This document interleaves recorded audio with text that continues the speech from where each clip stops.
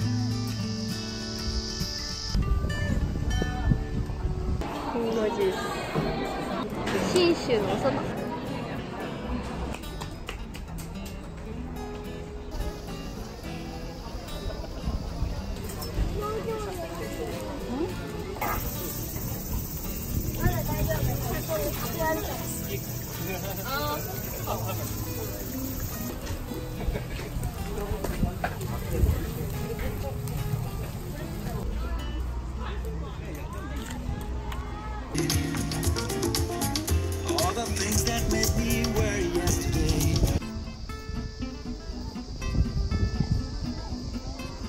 ちらはトウモロコシ畑です。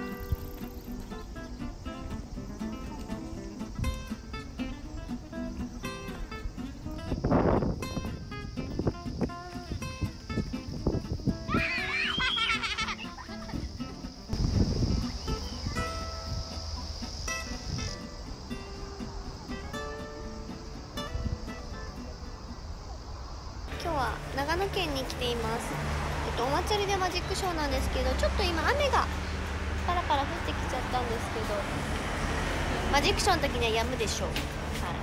大丈夫です。楽しみです。木。オブジェみたいな木。なんか書いてあります。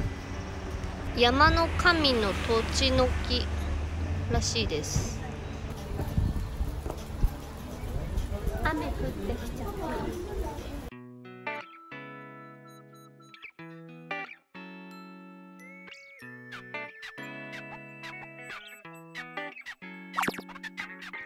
誰が誰がさっき二人でこっち歩いてきてマジックショー終わったら雨が降ってきました。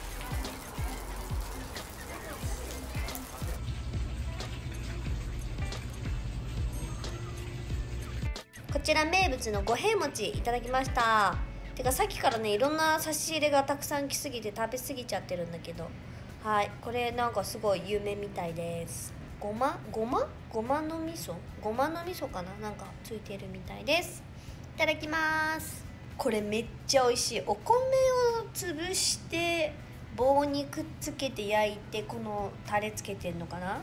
これめちゃくちゃ美味しい。五平餅。やばい。